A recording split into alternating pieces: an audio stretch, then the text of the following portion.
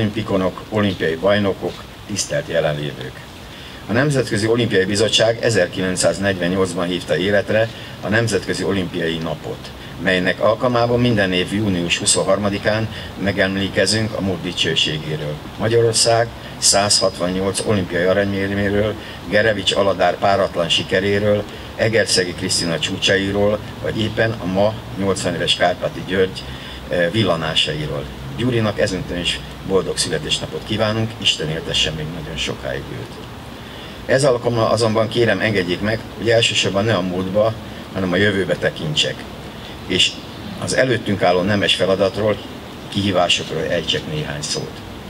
Ez alkalom jövőre ugyanis olimpiát rendeznek Rio de Janeiroba, már pedig a magyar sport elsőleges fokmérője mégiscsak az, hogy szerepelünk, hány érmet nyerünk a nyári ötkaripás játékokon. A Magyar Olimpiai Bizottság alelnökeként büszkén mondhatom, hogy a magyar sportolók zavartalan felkészüléséhez valamennyi feltétel adott, és bizakodva várhatjuk a bő egy év múlva kezdődő olimpiát. Hogy a magyar sport jó irányba halad, arra bizonyíték, hogy a Bakúi Európai Játékok is, melyen már 8 aranyéremnél járunk, és a hagyományokhoz hűen az éremtáblázat élmezőben tartozunk. Kajakosaink és kenusaink újfent bizonyították, hogy megkerülhetetlen tényezők a nemzetközi szintéren. Reménykedünk benne, hogy a milánoi kvalifikációs világbajnokságra át tudják menteni formájukat, mint ahogy úszásban, vívásban, hogy egy kicsit hazabeszéljek tornában, és még számos sportágban van okunk bizakodásra. Azt már tudjuk, hogy Rio után Tokió rendez olimpiát 2020-ban. Ám 2024-es házigazda kilétéről még nem született. Nagyon bízom benne, hogy a Nemzetközi Olimpiai Bizottság választása Budapestre esik. Hogy miért hiszek a Magyarországi Olimpiában? Olimpiai bajnokként, a MOB alelnökeként az olimpiai védnök testület tagjaként már csak érzelmi okokból sem lehetek más véleményen, de racionális érvek is szép számmal szólnak amellett, hogy szinte csak profitálni a rendezésből. Mint arra a közelmúltban bemutatott hihetetlenül alapos, 1300 oldalas megvalósíthatósági tanulmány is rámutat. Magyarország a számok nyelvére lefordítva is nyerességgel zárná a hazai rendezésű játékokat, méghozzá 100 milliárdokban mérhető nyerességgel. Amellett, hogy mintegy 100 ezer új munkahely keletkezne, és ezek nem légből kapott adatok. Nemzetközi szakértők egész csapata jutott erre következtetésre. Az imént hangsúlyoztam, nem szeretnék érzelmi urokat pendíteni, de nem állom meg, hogy hozzátegyem, igazán felemelő érzés lenne, a mi magyarok minnyáján egy irányba eveznénk. Kéz a kézben küzdenénk egy közös ügyért. És nem csak a budapestiek. Bár az olimpia központja valóban Budapesten lenne, a NOB reformprogramja, az Agenda 2020 lehetővé teszi, hogy vidéki városok sorra kapcsolódjon be a rendezésbe. Győrtől Székesfehérvárna át Debrecenig. A MOB által elindított társadalmi párbeszéd ennek jegyében az egész országra kiterjed, és az eddig visszajelzések egyértelműen pozitívak. Mint ahogy a közvélemény kutatások is arról állapodnak, hogy a magyar emberek kétharmada már most támogatja a budapesti olimpia ügyét. Ezen a napon nem is kérhetnék más, mint önök, ti is támogassátok a budapesti olimpia ügyét, és szívvel, lélekkel képviseljétek minden fórumon. Könnyebb így beszélni, hogy a mai délelőtti döntés egyértelműen megszületett, hiszen én is, aki jó magam négy olimpián vettem részt, és több százszor küzdöttem a magyar nemzeti válogatottál, egy nagyon jó érzés hogy ez az olimpia lehetősége egyáltalán Magyarországra létrehozhat egy olyan hihetetlen összefogást, amiből a magyar emberek profitálni tudnának. Készültem erre a beszédre, és arra gondoltam, hogy melyek a legfontosabb dolgok, amit érdemes elmondani. Az első dolog, ami ilyen jellegű, hogy miért van szüksége a Magyar Olimpiának. Mindenki az anyagi oldalról kezdi, és nagyon kevesen látnak azon túl, hogy milyen közvetett lehetőségei vannak az olimpiának. Az első ilyen dolog, hogy a magyar embereknél meg kell nézni, hogy mire van a legjobban szükségük.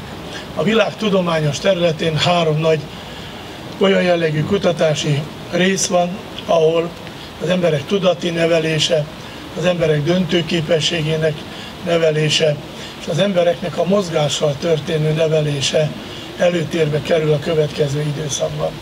Az, hogy a magyar embereknek szüksége van a sportra, a mozgásra, és ezáltal egy, egy mozgás gyógyszert alkalmazniuk az egész dinamikájuk, érzelmi életük és az egész élethez való viszonyulásuk megváltozik, az életérzésük, ez bizonyos. A mozgás jelentősége a magyar embereknél, ahol 30%-kal rosszabb a fizikai állapotunk, mint Nyugat-Európában, 10 évvel kevesebbet élünk egészségben, mint Nyugat-Európa területén, óriási jelentősége van, hogy a mozgáson keresztüli érvényesülés, önmegvalósulás képessége hogyan alakul. A harmadik dolog pedig len, magyar embereknek a következő időszakban meg kell szoknia, hogy Európában középszerűségre nincsen szükség. Magyarul olyan emberekre, olyan kiművelt emberekre van szükségünk, akik nagy nyomás alatt tudnak hosszú távon nagyon magas szinten teljesíteni. Áttételesen nem beszéltem máshol, mint a sportról, hiszen a sportban mindezek a képességek megszerezhetők. Egyre jobban az első esik, úgyhogy rövidre